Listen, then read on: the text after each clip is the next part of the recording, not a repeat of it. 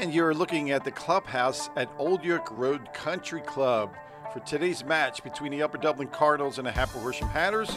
Hatters coach Mike Harmon getting his team ready to play the front nine at Old York Road. They'll be playing from the White Tees yardage 31-31. And up first is sophomore Brent Glau from Hatboro Horsham, and he has an excellent drive right down the middle of the fairway.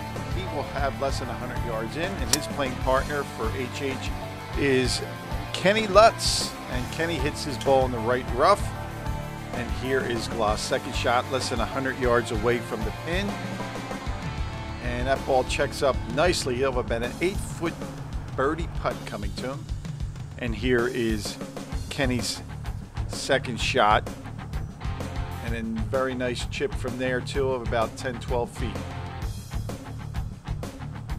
And now here's Kenny's birdie putt.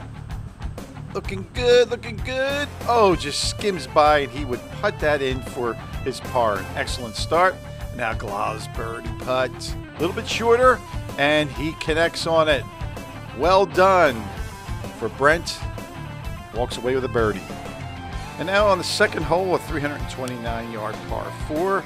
Kenny Lutz up first, hits a nice iron. He had to lay up because there's a water hazard about 220 down the, the, fairway. Hits it right in the middle of the fairway. Very good shot. And now Brent Glau trying to recapture that spectacular first hole momentum, but doesn't leaves the club face open and he hits it in the rough. He would end up with a six on that hole. And now Lutz from the second hole fairway, just over 100 yards away. Pin is to the left, waters to the left. Keeps it up on the far side, and he'll have about a 15 footer for birdie. Nice shot. Now for his birdie putt. Coming downhill a little bit. And comes down about three feet. He would tap that in for a par. Great start for Kenny Lutz.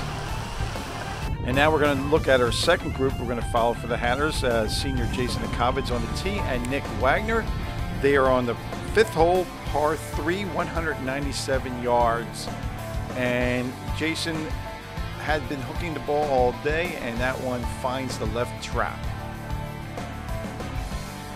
Now, here is his second shot out of the bunker. That's a pretty good shot, and of about 10 feet for his par. And his playing partner here is Nick Wagner, and this is his third shot. He struggled with a couple shots. Just off the green, and here it comes up. It has a chance. Can it go in? No, but what a heck of an effort. He will tap that in for his bogey four. Jason now lining up his par putt. Can it go? And it does. What a shot. That's called a Sandy. You win some money when you play with me. Great shot for Jason. Now we have Kenny Lutz teeing off on the ninth hole. It's a 522 yard par five. Kenny hits a good shot but doesn't turn the dog leg left and hits it in the rough. Here's his second shot. He couldn't get on it too because of the thick rough, but here he is putting for his par five. Oh, and it just slips out. So Kenny would have to settle, settle for a six. He would end up with a score of 40 on the match. Now his partner, Brent Glau, for his par, excuse me, his bogey, he makes his shot. He will end up with a 39 low score for the Hatters. The Hatters had a great match against Upper Dublin, defeating them by the score of 204 to 216 on Upper Dublin's home course. Congratulations.